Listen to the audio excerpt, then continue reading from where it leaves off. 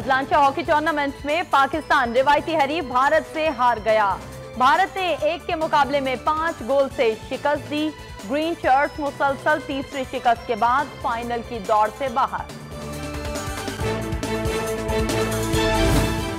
عمران خان نے زکات کے پیسوں سے آف شور کمپنی بنائی۔ شریف خاندان کا کاروبار پوری دنیا پر آیا ہے۔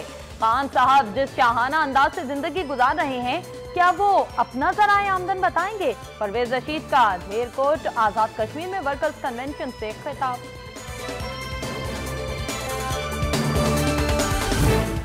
پاناما لیگز پر اپوزیشن یک زبان، حکومت کے گرد شکنجا سخت ہونے لگا۔ شاہ محمود قریشی کی گرینڈ اپوزیشن کے لیے خورشید شاہ اور سراج الحق بیٹھک دیگر رہنماؤں سے بھی رابطے، راون مارچ میں شرکت کی دعوت۔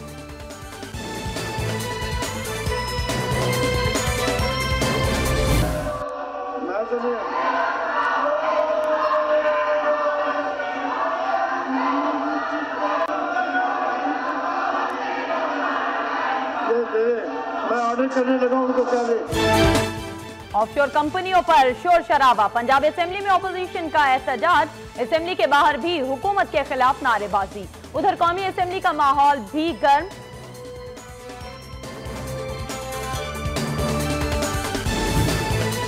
ملک میں لولا لنگڑا نظام صحیح، مگر چلنا چاہیے۔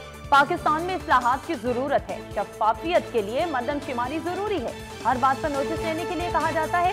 چیف جسٹس انور ظہیر جمالی کے سپریم کورٹ میں میئر اور ڈپٹی میئر انتخاب کیس کی سماعت کے دوران ریمارک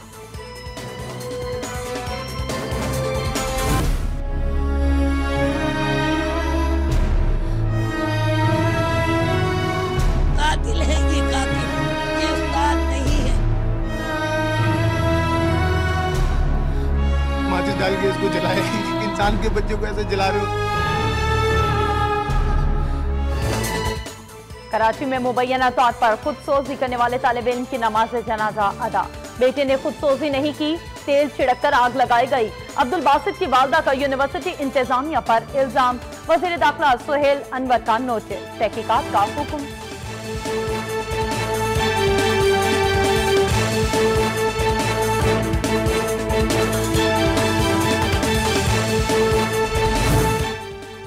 فیمز میں معذور لڑکی سے زیادتی کرنے والا درندہ کرشن کمار ہری پور سے گرفتار کر لیا گیا۔ متاثرہ لڑکی کا ڈی این اے ٹیسٹ دوبارہ کرانے کا فیصلہ۔